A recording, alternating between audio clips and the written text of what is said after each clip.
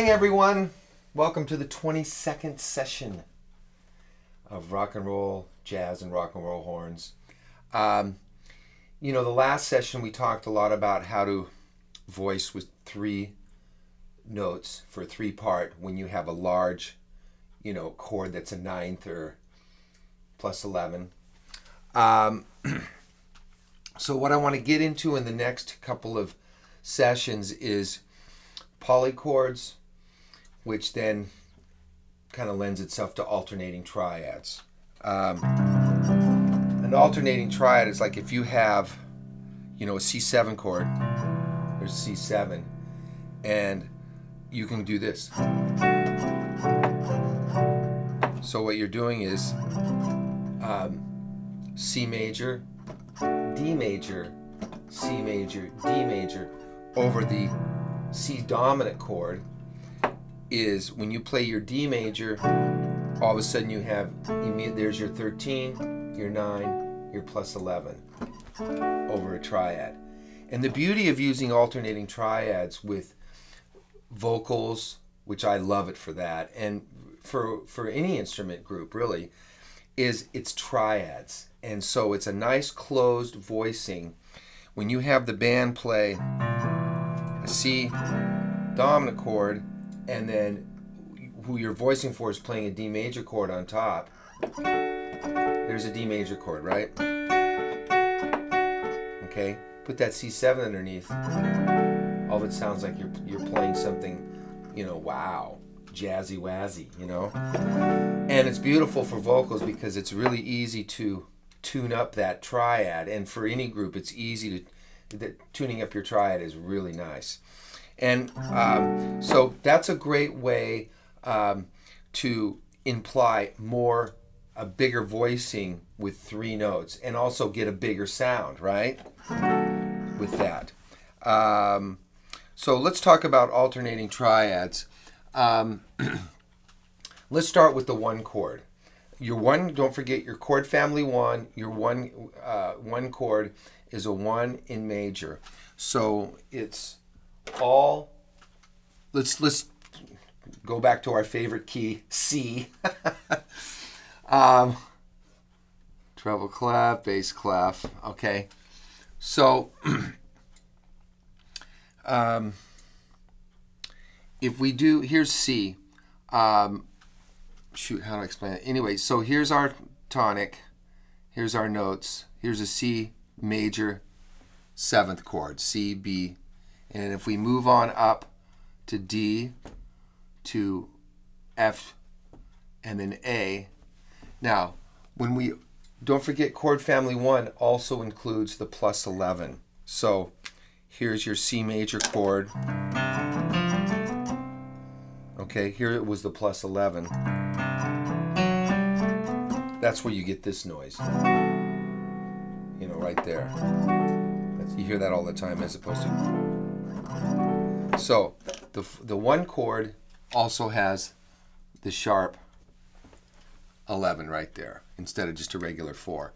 So what that gives us is now, here's our alternating triads. C, D with the F sharp. So you have a C major chord and a D major chord, all working over C major 7th. Okay? It's a one chord. You can call it a C major 9, you can call it a C, you know, uh, major plus 11, but basically it always functions as a one chord. Two, five, one. You hear that all the time.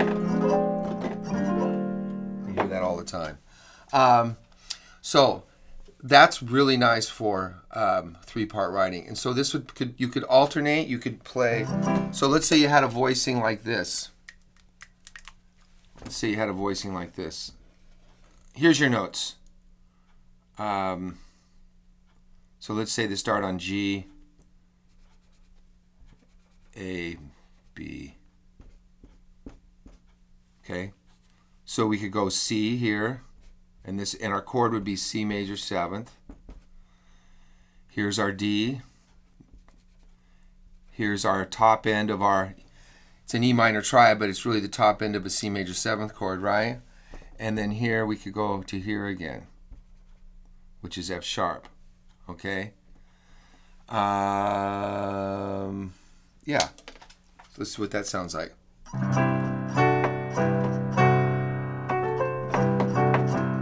See?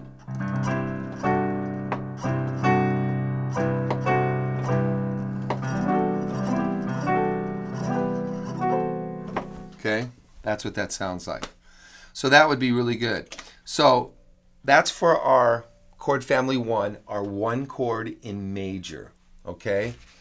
So the other another alternating triad would be over a two chord.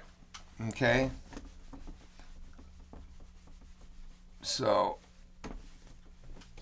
if our two chord in the key of C is D minor, let's dry this off a little bit. It's D minor. Okay. Let's do it down here. Okay. Um, so our alternating chord over D minor um, is F and G. Okay, it's over the three. It's over the three and the four. Four could be eleven too, right?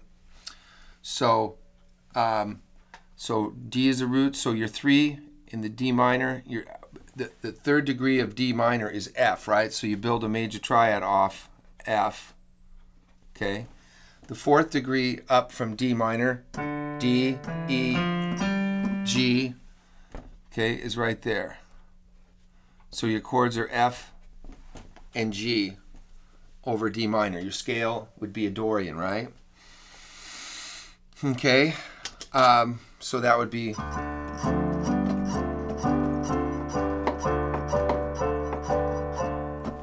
Okay, there it is. There's a D minor seventh. So you could voice, so let's say you had three horns. We're going to play this line with three horns. Okay. So your first one would be F. This is bass clef. So here's an A. Okay. G. I'm sorry. That would be a D. I am known to make mistakes, and I'm sure that sometimes I get emails from people. Uh, wouldn't that note be a? And I love it actually. Um, but I'm known to make mistakes. I make little goose ups, and a lot of times I see it after, and I go, "Oh, dang!" Um, oh, there's the egg timer. um, so I know I make little mistakes here and there. You know, it's I'm always trying to think ahead. So let's do our alternating triads over the third and fourth degree of D minor over an F and a G. So here's our F, here's our G, here's our F, and here's our G. Okay, and there they are. So that would sound like this. Okay, and that's over the two chord. Okay, notice D minor is in the key of C, right? This is the fourth and fifth degree of C, and we'll get into that a little later. It's a little confusing, but I want to get more into this uh, alternating triads, and this is also this G is a polychord. If you play your D minor chord and you put this G on top, okay, that's a really nice, nice sound. That's your polychord for, so it would look like this.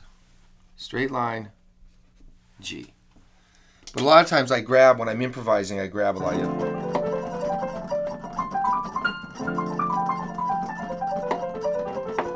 that kind of stuff. Anyway, thanks for stopping by. Don't forget, shoot me an email. Love hearing from everybody. Uh, love to know where everybody's from. It's exciting for me. And uh, we'll move on. We'll get more into alternating triads. We'll cover all the other chord families and get into the polychords and that's really a lot of fun for voicing for your horns or voices is nice with it too. So thanks for stopping by. Shoot me an email.